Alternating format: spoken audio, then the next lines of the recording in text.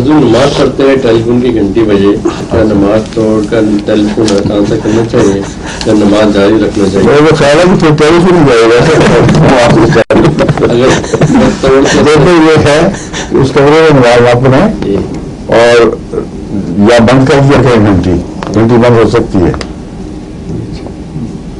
اگر آپ نے دو رکعت پڑھی ہو اور پھر آپ اگر نماز توڑ پھر خواہش ہو کہ ٹیلی فون سن لوں تو کیا دوبارہ اس کو اگر آپ نے ٹیلی فون بھی سننا ہے ساتھ ساتھ تو نماز نہیں ہوگی پھر وہ ایمرجنسی کی صورتیں ہیں جن میں یہ ملتا ہے کہ رات کے وجہ ساتھ تحجد پڑ رہا ہے، وہاں روز ٹیلی فون کی گھنٹیاں نہیں بجا کرتی اچانک کوئی جانور آ گیا ہے جو مسلسل دروازے کو چھوڑ رہا ہے۔ جی یا بھونک رہا ہے، اس کو جب تک اس سے نپٹے نا ساری نماز خراب رہے گی۔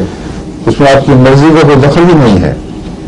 ایسی صورت میں جو اتفاقی حادثات ہیں اگر آپ اس سے نپٹ کر واپس آئیں تو نماز نہیں ٹوٹے گی اور وہیں سے شروع ہو جائے گی جہاں آپ نے چھوڑی تھی۔ جی۔